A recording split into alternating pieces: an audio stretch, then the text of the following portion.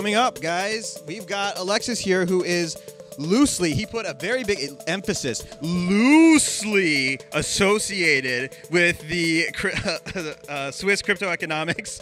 And uh, he's going to be talking with us about the digital integrity of the human person. And I don't know about you, but I see a lot of human persons here.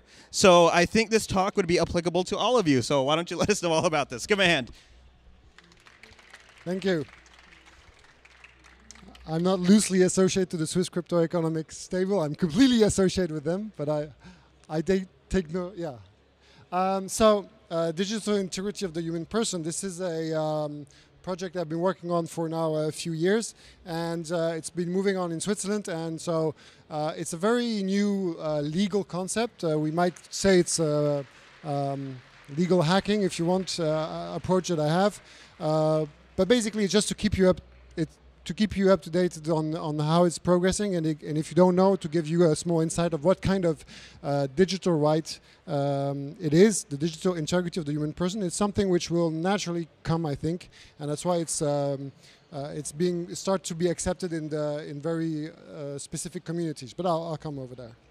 So um, yeah, where does it come from? It just it comes from uh, uh, this um, uh, very strong opposition right now between people who think that uh, what is happening online, what is uh, in the digital space, is part of the real life.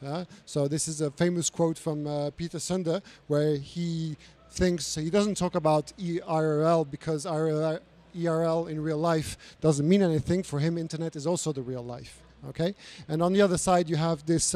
Um, uh, industry and a lot of people, even from uh, the traditional uh, um,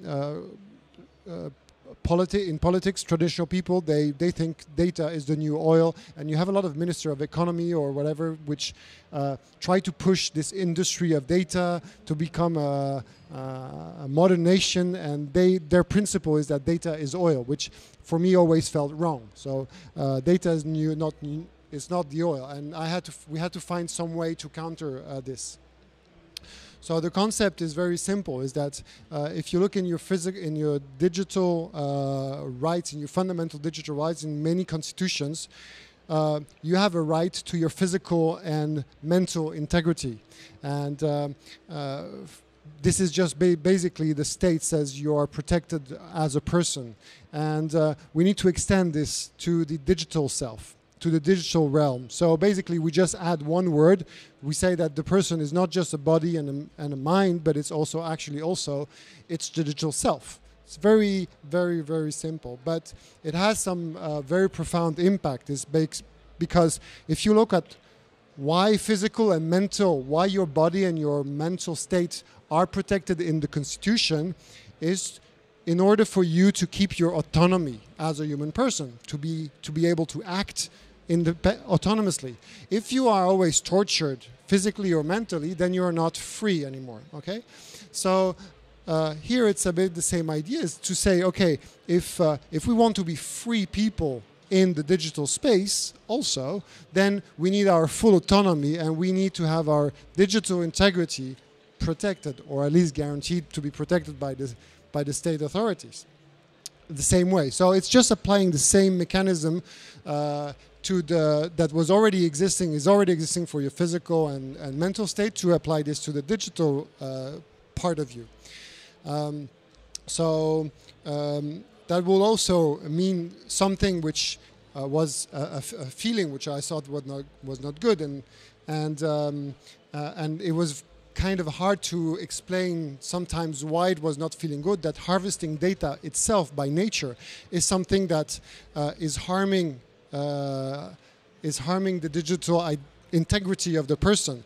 And then, if you want to be able to um, harm the integrity of a person, you need his consent. It's the same way for your physical integrity. Your physical integrity, you allow people to harm you uh, if you give consent. You go to the hairdresser it's actually the cutting part of your body, but you still give consent, you know. And so, so um, and in sometimes, of course, you don't need your consent because if you are in an accident and the doctor needs to cut off your leg because he thinks he needs to cut off your leg, he will do so. He doesn't need your authorization. So there's the level of of, of uh, uh, autonomy and, con and consent that you accept for harming your own integrity. But basically, this is the, the we just apply the same concept. So there are few major consequences of this in our in our legal system is that basically it would appear in the right to life. In many constitutions you have the right to live you know and the first thing is like uh, you, you cannot be killed and you have a right to be protected on your physical and mental uh, integrity. We would add it there. We will extend the, the legal notion of what life is would include also the digital part um, so one of the consequences also is that in the legal uh, perspective, it would put data in a different category. Today, data is undefined, and a lot of people use personal data. Use this. A lot of people use this gap to uh, take kind of ownership. You know, so this is why in uh, the whole industry, the digital industry, the fact of getting data is something which is normal. You can be owner. You can resell it. There's nothing that is forbidding you to do this because people don't consider just consider this as an object. So if we start thinking that if you have a life, digital life, also you're extended to the digital self, and you have a integrity, a digital integrity, then what is building this uh, digital self of you uh, is not an object, cannot be sold. Like you cannot sell a part of your body. You're not allowed to do so. So we would apply the same um, consequences. So this actually has already been um, said by the, uh, a group of um, authorities of data protection. Uh, they made a political declaration uh, in uh, two years uh, in uh, 2018, where they were saying that personal data are not objects; they are actually part of the human person. Um, and it also brings to another element is that uh, it's very hard for someone to understand where all the data that is making itself himself is. Uh, people don't have a good understanding, and it's very hard to know exactly where is all my data and where all um, things can influence me. So uh, when I say that no, no law should assume this, is today we have built a lot of legal system, and even GDPR, which is the most uh, uh, pushy law in terms of data protection, starts from the point where, where it assumes that you know where your data is. You have to know where your data is so you can defend it. But in reality, it's a false assumption, and many laws use this. That's why you had uh, uh, Schrems with, with Facebook when he had to go and get his data. It took him two years with a big procedure. He had to go and fight against Facebook, and this is not something achievable by, uh, by, by anyone. So we have to assume not that you know where your data is, but that you don't know where your data is, and all the laws have to be built like this. So the fact that we create this digital integrity, even if you don't know where the data is, if, even if the data is not in your reach, you're still protected and you still have rights uh, based on data, that data. So, for example, um, what that concept would bring to GDPR, it's not incompatible, it's at a higher level. So you have fundamental rights, and GDPR is a is an implementation, is a very technical and legal implementation, and it would uh, it would not be incompatible. You would have to do some adaptation. But what I was looking for is one very important article, the Article Two of GDPR. If you read it, these are the exclusions why, where GDPR does not apply. And one of them is everything which is uh, related to security and to terrorism and to uh, financing of terrorism. And when you, when you see, it, so this is the state using your data to try to fight uh, terrorism. And I call it the, the, uh, the security black hole. Whenever you talk about security, the data is not important anymore. There's no more rights over there. Uh, but this is not true in the physical world. In the physical realm, uh, even if they're fighting terrorism, you each have your rights and you uh, cannot be jailed uh, um, without uh, process. And there's a, there's a whole rule. They cannot beat you in the street in, in, in, in, in Europe right now just because they might think you're a terrorist. That's not how it, that's not how it works. So, but in the, in the digital space, yes. So basically, if we force the state and the, the, the in the fundamental rights, the, all the constitution to respect your digital integrity, that means there would be no more. It should be one of the consequences that the security black hole should disappear and the the police forces, when they are fighting for a crime, they have to respect the digital integrity of all the people which are around. So we talk about constitution and law, and this is the decentralized, uh, critical decentralization cluster. Normally, a lot of people, uh, of us, we try to go um, above the law. We try to like be a good anarchist and try to uh, assume, well, to try to build the new rules of tomorrow and not to stick on the old ones. But here, I do assume, uh, I, I make an assertion that we, we keep the state at its current form, and we keep the laws and the constitution.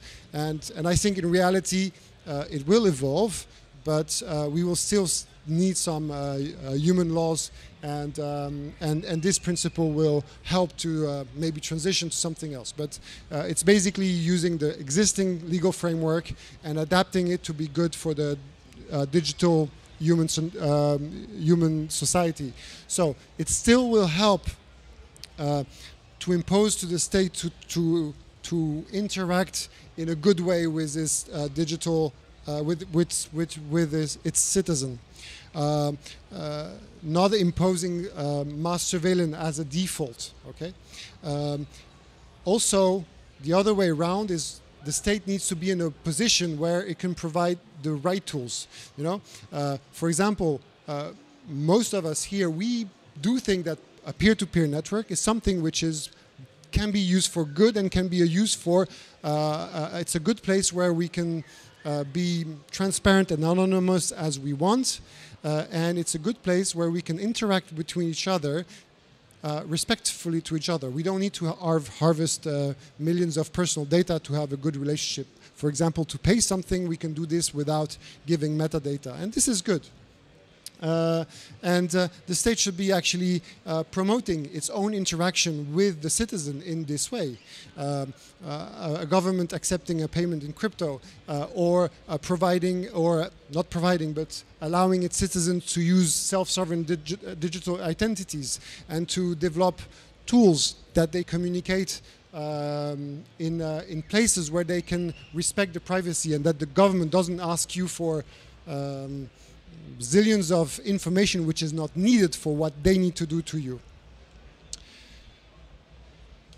So when we talk about implementing this, basically there are few places which are already now identified to implement implement the um, this uh, this concept.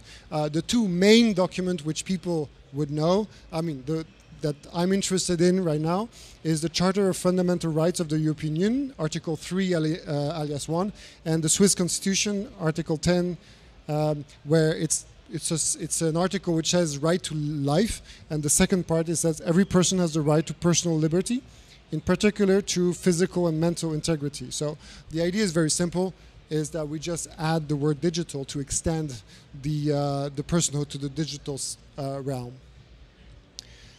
Um, so um, the work has um, gone very fast uh, these last uh, years, and uh, we have the chance in Switzerland to have a, a federal system where every uh, canton, every sub-state has its own constitution. So now there's a work uh, of one canton, which is the Valais canton, uh, that are renewing their whole constitution. And so we had the chance that to work with the Commission of Fundamental Rights, so the people who are meant to rewrite just that part. And they, they, the, the, commission accepted the, um, uh, the, uh, the proposal. So they will not add the word next to the two first ones. They will make a second uh, phrase, uh, which will be simple. Uh, every person has right to digital integrity, and and this will be presented to the to the whole Constitution Assembly that will um, during this year and maybe we'll have the first real implementation in the local constitution of uh, this principle. Um, so I'm just going. So we uh, we um, it, it's getting uh, some attention, uh, especially from the um, uh, data protection uh, agencies. So we were. Uh, I was in Dakar in front of the the whole group of the French-speaking data protection agency to present this, and we we were already invited by the Swiss data protection officer to present um, this in the the Swiss Day on data protection. the next event uh, are pretty interesting because we have one event in Neuchâtel in Switzerland where inside the law university they're making a half day uh, colloquium on the on the topic, and they're inviting. Um, teacher from different uh, branches, so international private right, constitutional law, um, uh, this um, privacy law and so on. And each of them is going to uh, kind of assess uh, this new right in their own domain and see uh, how. Um, uh, what, are, what, what it opens for uh, research possibilities. Um, there is a large uh, lobby group in Switzerland called Digitale Gesellschaft, and I will be presenting this in the Winter Congress for those of you who will be there. It will be roughly the same presentation as here. And then, in terms of uh, future work, how it's uh, proceeding, basically we're um, writing a, a, a, essay about the topic uh, to go more deep, deep in the in the in the subject. Uh, hopefully, with the University of Neuchâtel and other, there will be some legal research uh, starting. And what is really interesting in Switzerland is that we have a real uh, action mode of action. So uh, we're going through different cantons and maybe at the federal level, depending on if we raise enough money. But basically, we can ask, we can prepare initiative and try to propose this to the people to actually uh, add in their constitution. And we'll see. so we have the example of Wallis, which is through redoing the constitution, but you can also push more.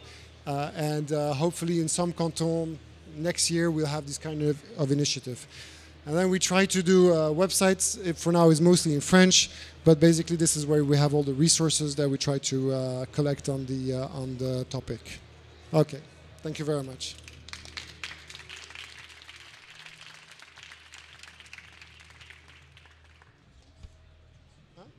Question? Yeah, question, question, question. If someone has questions, of course. Yes.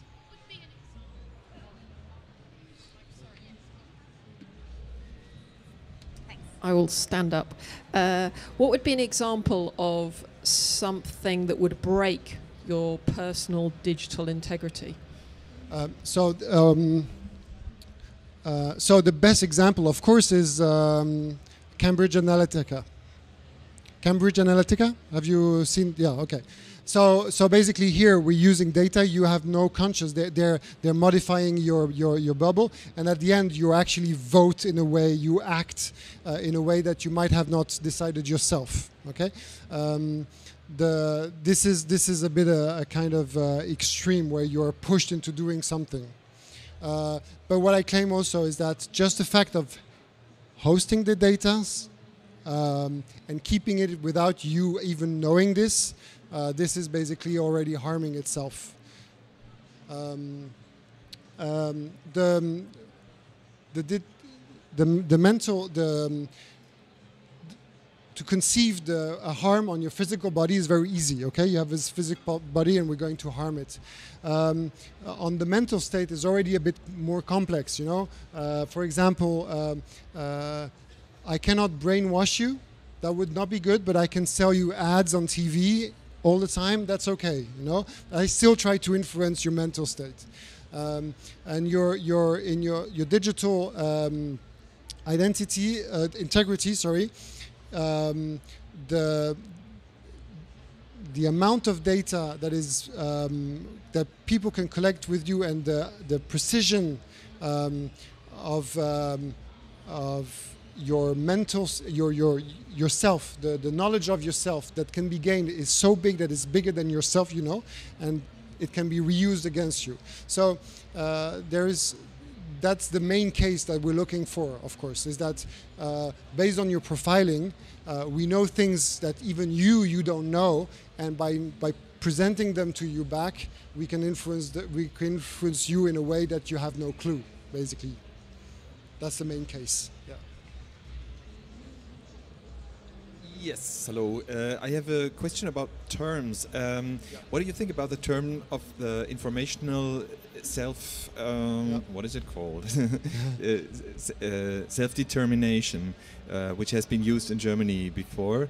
Um, I think, uh, like digital, for example, we may face a future where digital is no more the thing. It may be uh, something else except zeros and ones. Yeah. So perhaps on the long run, the informational self-determination might be the better term. Okay, so um, so there's first I'm going to give you another example because you, the two first words are physical and mental, And actually, you have a lot of. If you go in details, you have a lot of differences. People who are not happy in Germany. Some in Germany, maybe sometimes it's uh, um, they use Geist, Geistige. Uh, so spirit uh, in in um, in French they say mental or psychique. There are some differences. So it doesn't matter about the word. It's what it it's it's a more general concept. So what it what is important is it's understandable by people.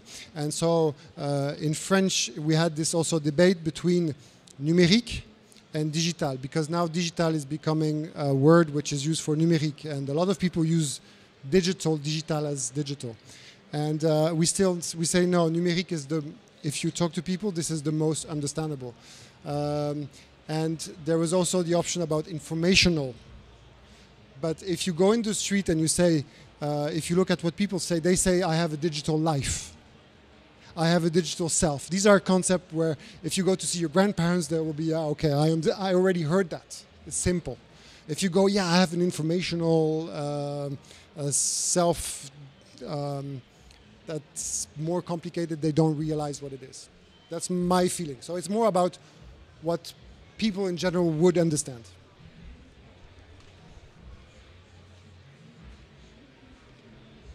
Hi, uh, thank you very much for your talk. Uh, my question would be uh, Do you hear me? Yes. Yeah? Sorry? Do you hear me? Yeah, yes. I hear okay. you. um, so there would be people who would argue with the uh, right to informational self-determination, yeah. but there's also the, the concept of uh, data ownership. And I think in uh, Switzerland, for example, there are um, like people in law science, Florent Thouvenin, I think, is uh, writing lots about the data ownership. Yes. And uh, so what I think it's uh, it's a very very dangerous concept but it's also it could be the data ownership concept. Yes, okay. Um, so have you been talking with people who would argue against your concept yeah. with the data ownership, and what do you think about it? So, so, so indeed, yeah. Data ownership is um, actually there is two kind of people who promote data ownership. There is uh, people who say there's um, um, data is an object, it can be sold, and there is an ownership and uh, let's make a business out of it okay? That's the first version of it. And the second second version of it is people say oh i have to find find a way to reclaim my data. So i will claim ownership on this data and i'll tr- i'll try to like rebuy it. Okay uh, so they have they try to do a good way uh, the objective is the same is how do we get back control of our how do we control our digital life how we protect ourselves. Um, now but if you accept that it's an object that is still ownership ownership can be transferred legally you know? When you are in a fundamental right a fundamental right cannot be transferred.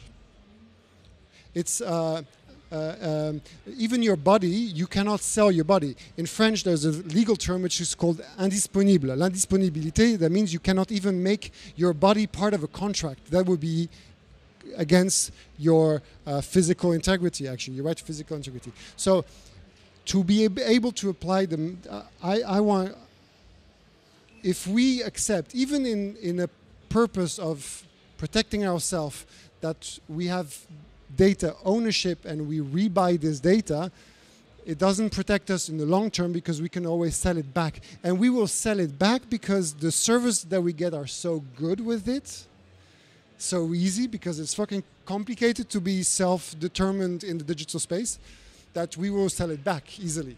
So, and this should not happen.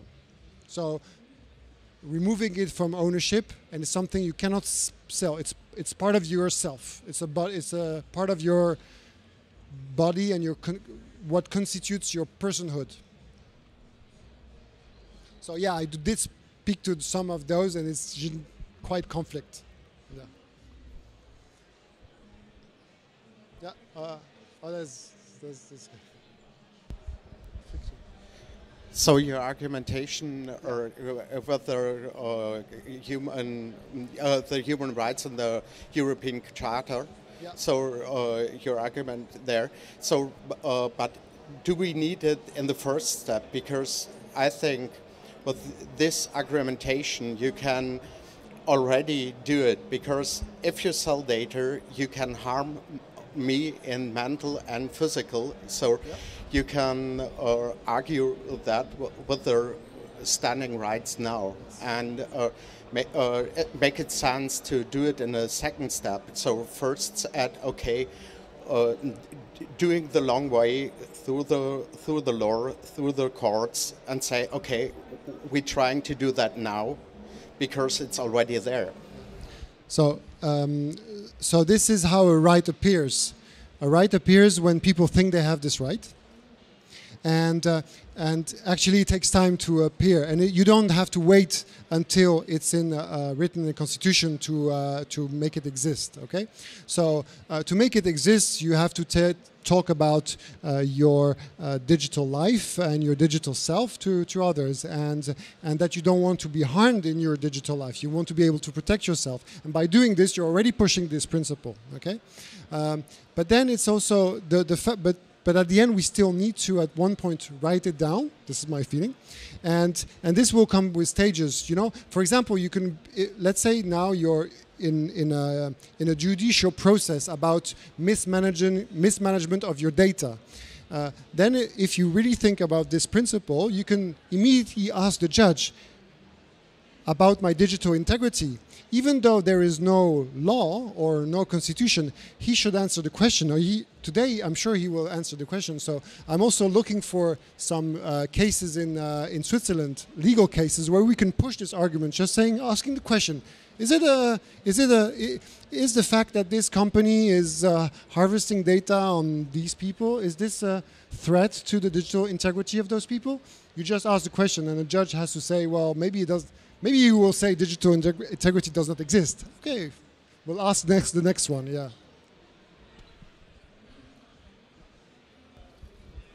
So, uh, so thanks for all the support for the Nym project and more in the future. but uh, on to this question, which is I think related. Uh, so I think like in Switzerland, like Nym is based out of Switzerland. We've had a very good experience with the local government. Uh, but that's not the case for many countries. Many countries have very corrupt governments, very adversarial governments. Uh, what should people in those countries do? And I guess if they're doing some form of technology, can you? Is there any connection between kind of cryptographic integrity and this kind of more metaphysical notion of digital integrity that you have? Okay, just for full disclosure, he says thank you for the support because we're I'm, I'm helping I'm helping Harry in his uh, in his project. So, uh, um, yeah, so so so it is not first first thing. Huh? It's we're not talking about cryptography integrity. We're not about talking about uh, integrity in the sense you're doing a hash function of the human body. That doesn't. It's not like this. Huh? Uh, integrity of the human body is just is of the of of your of yourself. It's just that um, it's just a concept that allows that forbids someone else to come and interfere with you. But we don't define how. This is society will define how we interfere interfere in the future. Um, so Switzerland, we can move, move these uh, projects ahead and we could talk about it and it's good. And, and, basically, if it's also an argument we can start making and people are careful. In other countries, not the case. So in other countries, actually, uh, we have to do what history already did because people already fought for their physical um, integrity and they fought for their mental integrity. So this is a concept that started um, in the 18th century, you know, with the Lumière, and this is where, where it started. So basically, we need to do the same thing. We need to do what we're doing here: self-defense, using the tools, building the right tools, that and and, and pushing them, pushing them um, and uh, and building those peer-to-peer networks and mastering cryptography and uh, and now building economy. And this is why also which is great with crypto. Uh, and the new consensus model and the incentive models that we have right now, token economics, all the thing which is crazy because now we start to have a, uh, yeah an economical power also in this using this these tools that represent uh, all this world of a free uh, of free digital selves that can build a society. So yeah, so yeah, if you cannot push legally the thing, then you just continue exactly what we're doing. Thank you so much, Alexis. Um, I, I would say that he would be available off stage to answer any other questions, but he has informed me that he does not like to consort with the masses and plebs, and so uh, that's not going to. I'm just kidding. He's going to be available off stage to answer any discussions that you guys have.